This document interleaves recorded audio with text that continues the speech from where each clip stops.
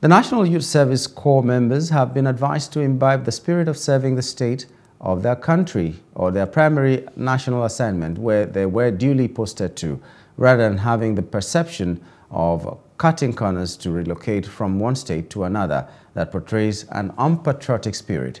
The state coordinator of NYSC Kaduna State, Hassan Taura, stated this during the opening and swearing-in ceremony of 2023 Batch C Stream 2 Corps members in Kaduna. The NYSC is, is a national assignment. So if a corps member will begin to think of going back to his or her state of origin to do an NYSC, so it means that person is not doing national service.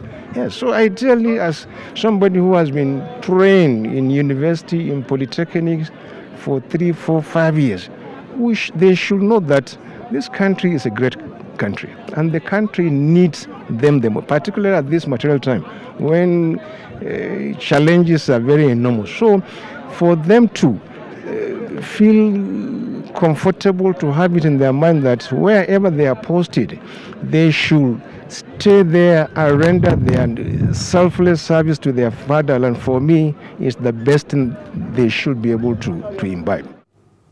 The Kaduna State Governor, Uba Sani, who was represented by Special Advisor on Revenue Matters, Umaru Waziri, said the state government has put on human capital development for National Youth Service in the state, which remains a strong pillar for such a cause. He urged corps members to use the three weeks they are to spend in the camp to acquire relevant skills for self-reliance during and after their service year.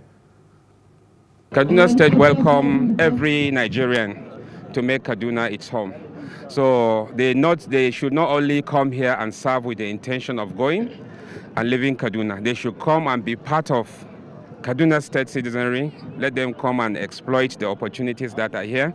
The governor is working hard, uh, attracting investment, making Kaduna better. There are improved infrastructure.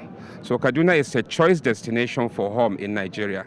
Hello. Hope you enjoyed the news. Please do subscribe to our YouTube channel and don't forget to hit the notification button so you get notified about fresh news updates.